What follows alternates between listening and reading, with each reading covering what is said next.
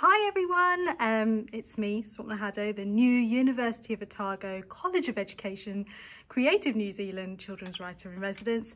Um, I'm just settling in, it's my first week, so I thought I'd show you around my office. Um, this is my office, look. Oh my God, it's got my actual name on it, that's me. Um, let's go inside. Archie's already here. Hello Archie, you know my writing buddy Archie. Good boy. Okay, so this is my office. It's amazing. Um, so I've got some fan work up, which always keeps me inspired.